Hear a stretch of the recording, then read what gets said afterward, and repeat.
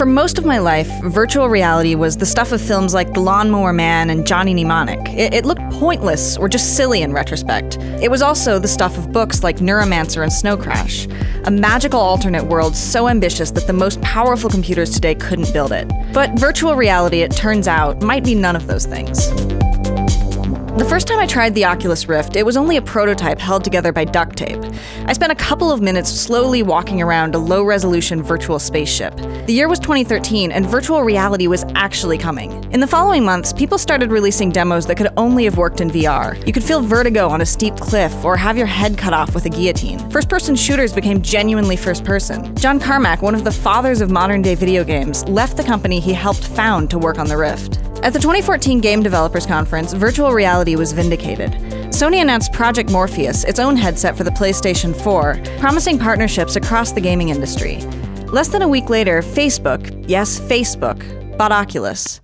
But even if Facebook has grand ambitions, the last year has been about finding the limits of virtual reality, including the fact that simply walking around can be literally sickening. At GDC, the Oculus demos were low key. One of them just put you on a couch. Sony's were slightly more ambitious, but sometimes this only highlighted their shortcomings. My hands kept shooting across the room with the Move controller, and when my diving cage started shaking in one demo, it just made me realize that my body couldn't feel a thing.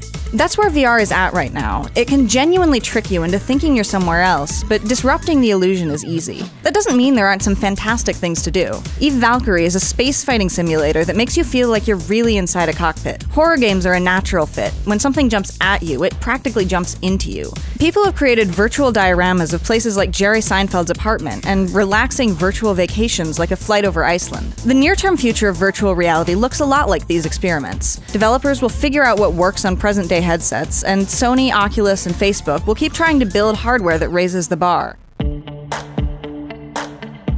The Rift is a black box, and Project Morpheus is an ergonomic Tron headset, but under the shells, they're not so different. Both put you in an immersive world that leans on your brain to fill in the gaps. They're a bit blurry, a bit confining, and in the Rift's case, a bit heavy. Reading anything at all is painful. We still don't really know how to interact with them. Do you use a standard controller, a motion control setup, a giant treadmill? But Facebook and Sony are betting that these are all solvable problems.